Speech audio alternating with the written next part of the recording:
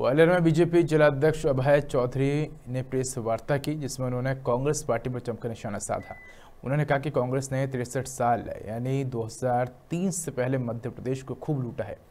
कांग्रेस ने प्रदेश में जो कुछ भी कभी उसका रिपोर्ट कार्ड नहीं दिया, लेकिन हम अपने शासनकाल का रिपोर्ट कार्ड जनता के सामने लेकर आए हैं।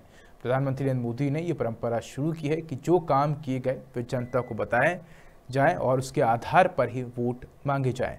हमने पिछले पाँच सालों में जो भी शिक्षा स्वास्थ्य और जन सुविधाओं को देखते हुए विकास कार्य किए हैं उसे रिपोर्ट कार्ड में पेश किया गया है।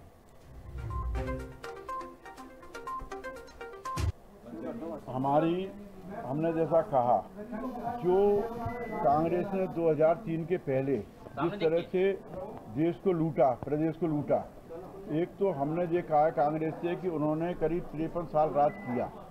उनको अपना रिपोर्ट कार्ड लेके पब्लिक के बीच में आना चाहिए। उन्होंने क्या किया, ये बताना चाहिए।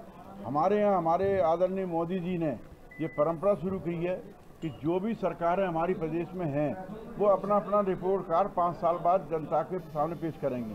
और जनता के बीच में जो उन्होंने काम किया है, उसके आधार पर वोट मांगेंगे। तो हमने आज रिपोर्ट कार्ड हमारी सरकार ने पेश किया है।